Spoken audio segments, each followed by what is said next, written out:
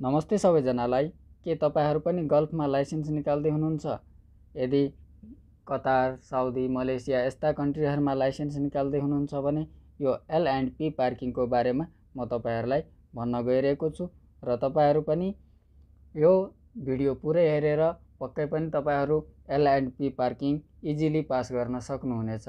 So video अन्त्यसम्म हेर्नुहोला र यो एल एन्ड पी पार्किङ कसरी हामी पास गर्ने भन्ने बारे म भन्न गइरहेको छु र यो यसको सम्बन्धित सबै कुरा तपाईँहरूलाई म सेयर गर्न गइरहेको छु।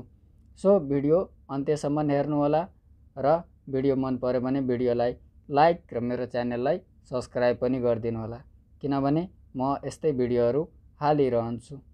सो अब भिडियो स्टार्ट गरौँ।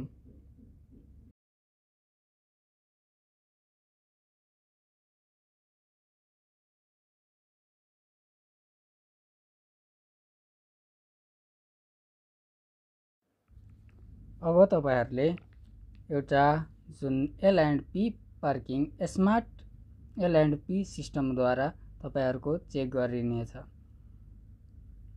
त्यसमा तपाईँहरूले स्मार्ट एल एन्ड पी सिस्टममा camera laser system smart traffic poles ultrasound smart panel system र स्मार्ट रिजल्ट। र स्मार्ट रिजल्ट तपाईँले ट्राफिक लाइट्स अनि ट्याब्लेट्स जुन गाडीको भित्र हुन्छ र एउटा एसएमएस थ्रु तपाईँहरूले आफ्नो रिजल्ट रिसिभ गर्नुहुनेछ।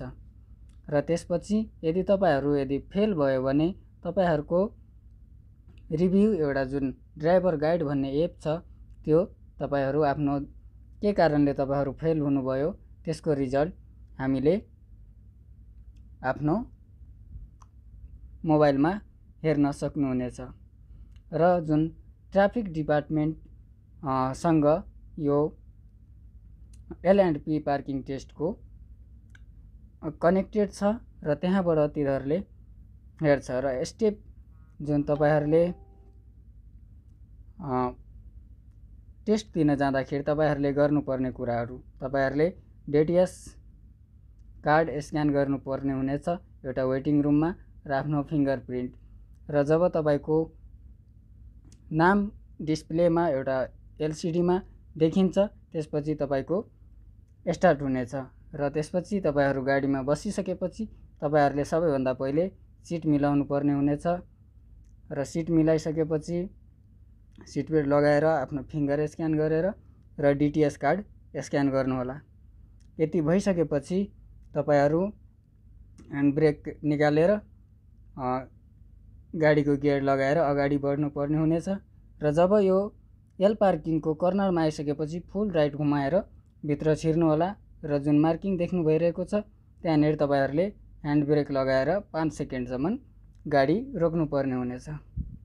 त्यसपछि तपाईँहरू जब ह्यान्ड ब्रेक छोडाइसकेपछि पछाडि नआइकन सिधा अगाडि फरवर्ड गाडी गर्नुपर्ने हुनेछ।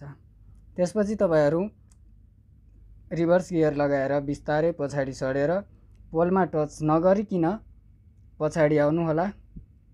र जुन एउटा बक्स हुन्छ त्यहाँनिर तपाईँहरू पार्क गर्नुहोला। यसरी तपाईँहरू आफ्नो एल पार्किङ टेस्ट पास गर्न सक्नुहुनेछ।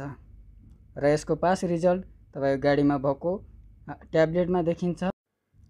र एसएमएस थ्रु तपाईँको जुन रजिस्टर्ड नम्बरमा पनि तपाईँको म्यासेज आउनेछ। र यदि फेलियर भयो भने तपाईँको यो ड्राइभर गाइड एपमा तपाईँको के कारणले तपाईँ फेल हुनुभयो त्यो त्यहाँबाट देखिन्छ। र के भएर तपाईँहरू फेल हुनुभयो भनेर त्यो त्यहाँनिर अनि देखिन्छ र step of parking P parking भनेको छ। अब म तपाईँहरूलाई यो पी पार्किङ कसरी गर्ने एउटा बक्समा गाडी रहन्छ त्यसपछि तपाईँहरूले भित्र गाडीमा बसेर मिररहरू सब मिलाएकै हुन्छ। तपाईँ आफ्नो डिटिएस कार्ड स्क्यान गरेर फिङ्गरी गर्नुहोला र त्यसपछि तपाईँहरू ह्यान्ड ब्रेक निकालेर रिभर्स गियर लगाएर गाडी पछाडितर्फ आउनुहोला र जुन त्यहाँ पी पार्किङमा एउटा ठुलो पोल हुन्छ त्यहाँनिर गएर फोर राइट काट्नुहोला र भित्र जानुहोला र फेरि भइसकेपछि तपाईँहरू ब्याक गियरमा पछाडि आएर फुल लेफ्ट काटेर बाहिर गाडी निकाल्नुहोला जबसम्म पछाडिको चक्का वाइट तर्कोसम्म आइपुग्दैन। र यति भइसकेपछि तपाईँहरू फेरि राइट काट्नुहोला र सिधा अगाडि गाडी लिएर आउनुहोला र त्यो बक्सभित्र गाडी हालिदिनुहोला यसरी तपाईँहरू पी पार्किङ पनि पास गर्न सक्नुहुनेछ। र तपाईँको रिजल्ट त्यो गाडीमा भएको ट्याब्लेट अनि एउटा फिजिकल टेस्ट हुन्छ र ट्याब्लेट र एसएमएसद्वारा पनि देखिन्छ र आफ्नो ड्राइभिङ गाइड एपमा पनि तपाईँहरूले हेर्न सक्नुहुनेछ। सो गाइज यसरी नै तपाईँहरू आफ्नो पार्किङ टेस्ट पास गर्नुहोला र इजी मेथड छ।